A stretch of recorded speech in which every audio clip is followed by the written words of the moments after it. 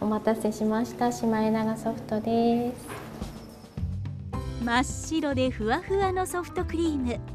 つぶらな瞳がとってもキュートなシマエナガをモチーフにしています。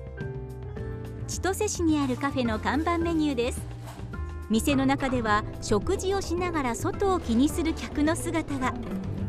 庭にやってきたのは可愛らしい小さな鳥。多い時は60種類もの鳥を観察できるカフェなんです。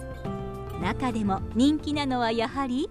ここでシマエナガ見れるかなと思ってずっと北海道に来たら見てみたいなと思ってたので。シマエナガちゃんを見れるって伺いまして来ました。函館の方でもこういうとこないので今来てるみたいな、はい、なんとインタビュー中にその姿がどこにいるんでしょう？あれだ。あれ？だ。いました。北海道に生息するシマエナガです。白くてまん丸の可愛らしい雪の妖精が餌を食べています。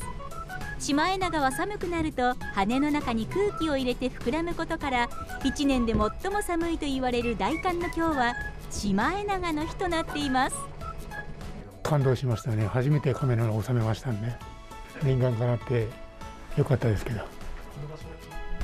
カフェに併設した撮影小屋は望遠レンズを構えた野鳥愛好家で満席に。多い時で30分に1回シマエナガに会えることもあるとか。シマエナガが来るともう皆さんも本当に喜ばれてあの総立ちで アイドルが来たかのように。とても人気ですね。この盛り上がりは札幌でも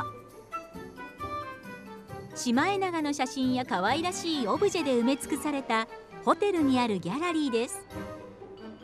シマエナガの日に合わせて今日から新商品を発売しました。仲良く並ぶ3羽のシマエナガが描かれたコンパクトミラーにまっすぐに見つめるこちらのシマエナガは保冷バッグになっています。